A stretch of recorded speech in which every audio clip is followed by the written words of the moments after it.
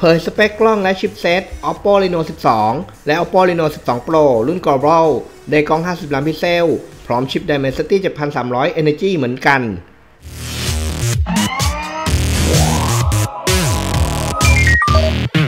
ก่อนหน้านี้ Oppo ประเทศจีนได้เปิดตัว Reno 12 และ Reno 12 Pro ไปแล้วนะครับ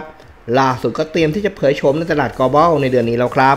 โดยสเปคหลักของทั้งกล้องและชิปเซต ที่จะใช้งานในทั้งสองรุ่นนั้น ก็เผยออกมาแล้วเช่นกันครับ โดยจอมหลุดอย่าง a c h u n VN8888 ที่โพสต์แล้วบน X ครับ โดยทาง a c h u n VN8888 ได้ระบุสเปคของ Reno 12 และ Reno 12 Pro รุ่น Global จะมีความแตกต่างกันจากในจีน ตั้งแต่การใช้ชิป Dimensity 7300 Energy เหมือนกันทั้งหมด ต่างจากรุ่นในจีนที่ใช้ชิป Dimensity 8250 และ Dimensity 9200 Plus Star Speed Edition ครับ ส่วนกล้องหลังของ Reno 12 จะมีทั้งหมด 3 เลนส์คือ